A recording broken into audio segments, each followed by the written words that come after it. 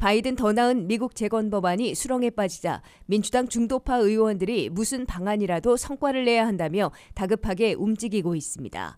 특히 11월 8일 중간 선거에서 낙선 위기에 몰리고 있는 공화당 아성 지역의 민주당 의원들은 인기 있는 미국민 지원 방안들만 따로 분리해 추진하고 일부 공화당 의원들의 지지를 얻어 성사시켜야 한다고 당 지도부에게 강하게 요구하고 있다고 워싱턴 포스트가 보도했습니다. 민주당 중도파 하원 의원 20여 명은 최근 스테니 호이어 민주당 하원 대표에게 상원에서 교착 상태에 빠진 더 나은 미국 재건 법안에서 초당적으로 인기 높은 처방약값 낮추기와 Child Tax Credit 등 일부만 따로 분리해 단독 법안으로 추진해 줄 것을 요구했습니다. 이들은 처방약값 낮추기와 부양자녀 현금 지원하는 일부 공화당 의원들도 지지해온 만큼 민주당에서 일부에서 반대해도 더 많은 공화당 의원들의 지지를 이끌어내면 최종 승인할 수 있을 것으로 강조하고 있습니다. 메디케어 처방약값 낮추기 방안의 핵심은 연간 약값의 상한선을 2,000달러로 제한해 노년층이 그 이상은 부담하지 않도록 해주겠다는 방안입니다. Child Tax Credit, 즉 부양자녀 현금 지원하는 1년 연장이 확정되지 않는 바람에 새해 1월부터는 매달 지원이 중지됐는데 이를 다년간 연장하는 방안을 분리 처리하자는 요구입니다.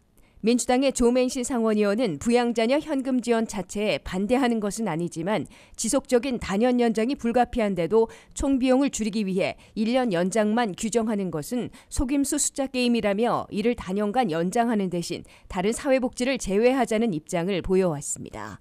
조 맨신 상원의원은 Child Tax Credit으로 부양자녀 1인당 연간 3,000달러 또는 3,600달러씩 제공하는데 1년에 1,850억 달러가 들지만 10년간에는 1조 6천억 달러나 소요된다며 백악관에 제출한 대안에서 이를 제외시켰다가 백악관으로부터 성토당했고 양측 간 사이가 벌어져 있습니다.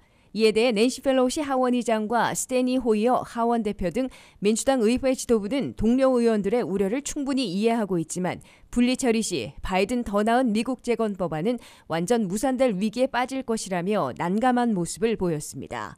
그러나 민주당 진영에선 민주당의 결집에 실패해 바이든 더 나은 미국 재건 법안을 완전 무산시키기보다는 인기 있어 초당적 추진이 가능한 것만 분리 처리하고 다른 사회복지 확충과 기후변화 대처 방안은 민주당만의 독자 가결을 다시 추진할 가능성도 거론되고 있습니다.